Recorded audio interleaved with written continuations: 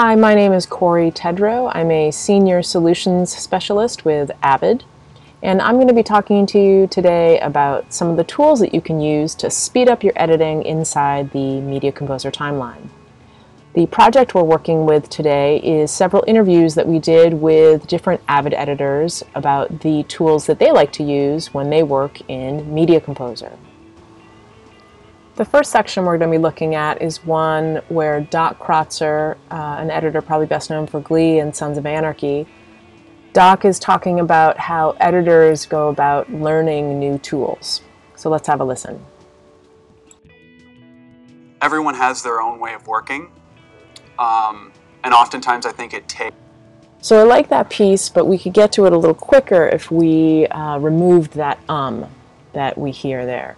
So since we're working with audio, I'm going to switch my timeline over to my audio edit view. And this is a customized view that I've created. As you can see, I have nice big waveforms, so I can see the audio. Everyone has their own way of working. Um, and oftentimes... And now we can see exactly where the um is that we need to remove. So first, I'm going to add an edit uh, on the video and the audio tracks. And then we're going to move the blue position indicator to the other side of the um that we need to remove. Now I don't need to mark it in or out. What I can do is use a tool called top. And that is going to do just that. It's going to remove the top of that section that I was in and taking it right back to the top of that cut. And now you'll see that very quickly we've removed the um. Everyone has their own way of working. And oftentimes I think it takes someone else. In addition to the top function, we also have tail, which as you can imagine is the opposite. That will remove the tail of any section between the blue bar and the next edit. So again, very quick way to tighten things up. Moving down along, we have uh, the next editor we spoke to was Stuart Bass, uh, known for Arrested Development in the Office. And in this section, he's talking about footage.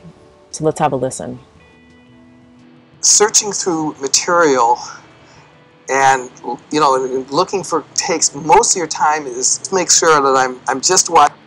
So this is a great piece where he's talking about dealing with lots of footage, um, but I'd like him to get to the point a little quicker. So I want to remove uh, the end of that first section.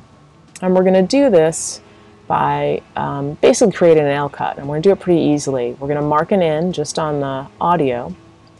And then we're going to use something called extend edit.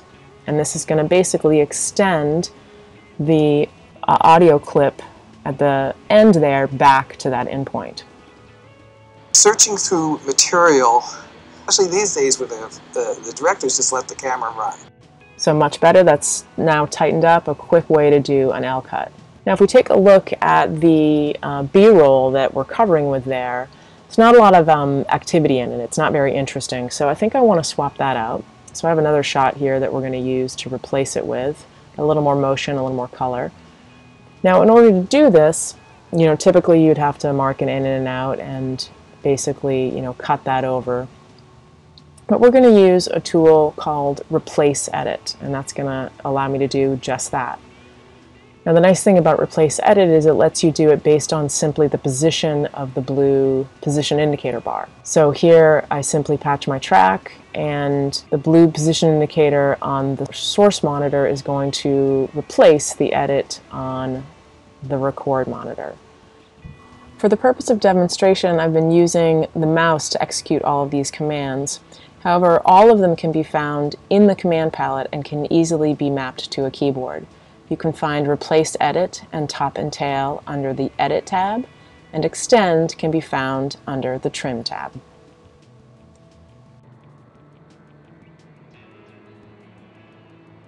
And that is how you can use Top and Tail, Extend Edit, and Replace Edit to speed up your editing inside of Avid Media.